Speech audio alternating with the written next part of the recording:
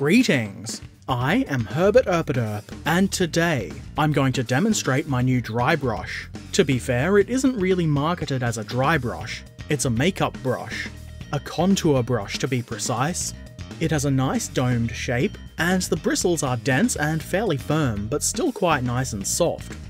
I never would have thought to use something like this, but I've seen videos by Teri Litorco, if that's how you pronounce her last name, where she uses similar brushes in her painting and gets very good results.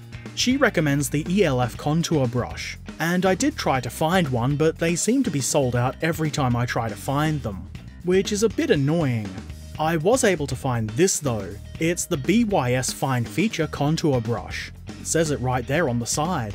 And I figured, why not try this brush? It looks very similar, and I hope it behaves in a similar way.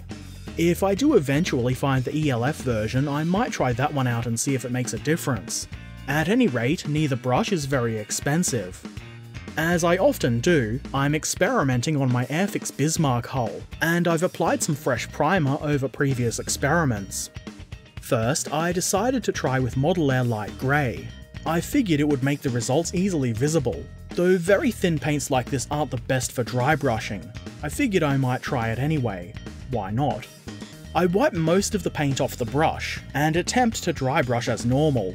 First try it seems that I didn't remove as much of the paint from the brush as I should have, so it goes on pretty heavily, and not so much dry brushed, more like regular brushed. This brush seems to hold paint fairly well, and it did apply the paint fairly nicely, just not how I wanted it to go on. I made sure to remove more of the paint and tried again. This is much more like dry brushing should be. I think the result here is pretty decent. The patch to the right fades out quite nicely. It's almost like an airbrushed effect. I've also hit the edges on the turret mount in the centre pretty nicely. Let's give it a try with a thicker paint, one more suited to dry brushing. This time I'm using Vallejo Model Color Buff. There's not really a lot to say about how I'm brushing it on, it's just a regular dry brushing technique. If you only want a tiny hint of colour, brush over the spot you want to hit once or twice. For more colour, keep going. As with most dry brushing, I'm mostly hitting edges and raised parts. Pretty simple. Where I feel like this brush works especially well is the areas around the edge. You can create a sort of blend, where the colour kind of fades in, almost like it's been airbrushed.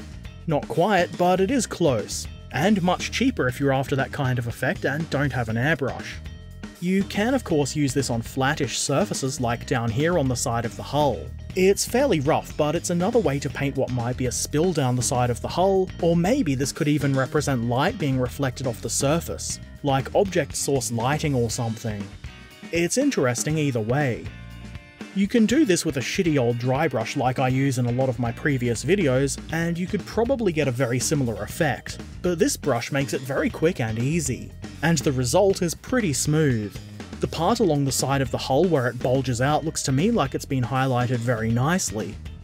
The brush is pretty big, but you can still do some fine work with it. I think that's mostly owing to its domed shape. You can see I've hit some of the edges and the chain here pretty neatly.